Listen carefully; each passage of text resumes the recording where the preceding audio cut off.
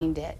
All right, well, check this out this morning. We're highlighting a very special member of the American Red Cross. I got a chance to sit down with Pat Chappell. She has been volunteering with the Red Cross for nearly 20 years. She's being honored this year with two major national awards. As a retired Air Force colonel, the Red Cross was a great fit. Uh, actually, the commanders at the Air Force Academy, uh, she said, Pat, why don't you come down to the Pikes Peak chapter at that time, that's when it was called. And she said, some great Red Cross nurses there, and you need to meet them. I said, okay. So I went down, and they were lovely, they were a great group of people. And I thought, well, I think I like what they're doing.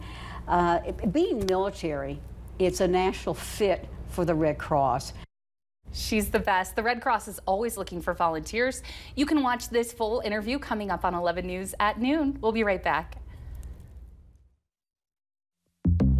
Wire pokes